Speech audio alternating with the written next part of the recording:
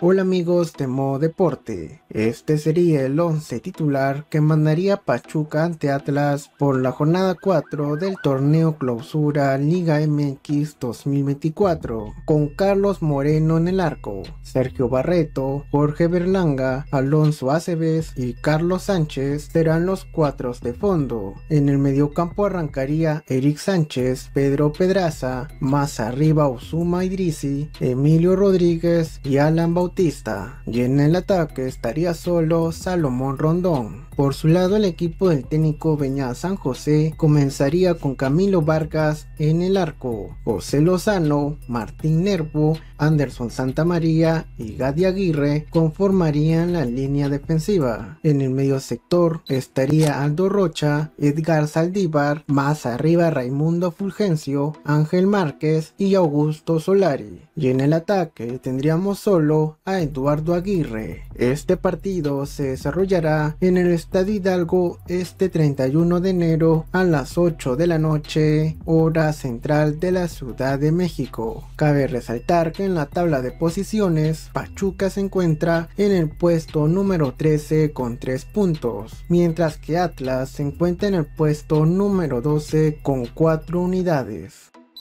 Si te gustó el video, apóyame con un pulgar arriba, suscríbete activando la campanita que es totalmente gratis y nos vemos en un próximo video.